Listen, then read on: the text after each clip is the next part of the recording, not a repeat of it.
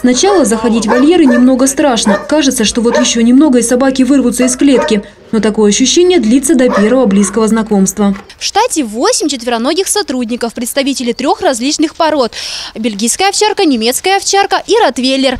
Вот, например, Драстик. Он ветеран, проработал в полиции более пяти лет. Специализируется на наркотических средствах и скоро пойдет на пенсию как настоящий сотрудник полиции. Тобольской кинологической службе в этом году 6 лет. Четвероногий штат завоевал почет и уважение в коллективе отдела полиции. Мы довольно часто выезжаем на преступления. Э, что касается этого года, на данный момент у нас э, с использованием служебных собак раскрыто уже 17 преступлений.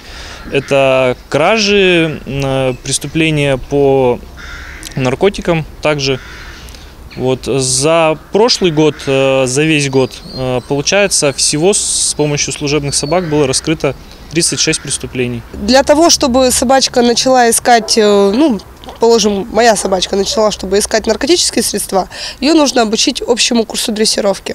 То есть без общего курса дрессировки собака не допускается к специальному курсу дрессировки. В общий курс дрессировки входят такие команды, как сидеть, лежать, рядом, вот. А в специальный курс это уже вводятся запахи постепенно и потом уже применяется на реальных выездах. Как у любого штатного сотрудника, у Хвостатого есть личное дело с фотографией, характеристикой и определенным направлением в работе, который присваивается им щенячьего возраста. Смотрят уже в щенячьем возрасте, то есть смотрят на их качество, как они себя ведут. Э, также очень важную роль играет состояние здоровья. Э, у нас служат только здоровые собаки, то есть чтобы не было никаких проблем в плане здоровья. Далее идет просто отбор. В день кинолога в гости к служебным собакам пришли девчонки и мальчишки из отрядов мэра. Хвостатые с удовольствием продемонстрировали свои профессиональные навыки. Задержание вооруженного преступника, поиск взрывчатки и наркотиков. Задачами собаки справились на ура, а в качестве бонуса даже нашли пару одинокому башмаку.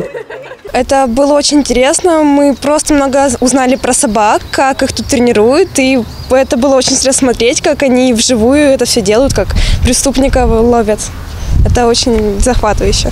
Несмотря на серьезные задачи, которые ежедневно выполняют кинологи со своими подопечными, нрав у служебно-розыскных собак доброжелательный. Они любят детей, с удовольствием фотографируются с гостями. Большой наградой считают лакомство от кинолога или возможность поиграть с любимой игрушкой. Но все это в редкие часы отдыха. Наталья Китова, Михаил Куричка, Тобольское время.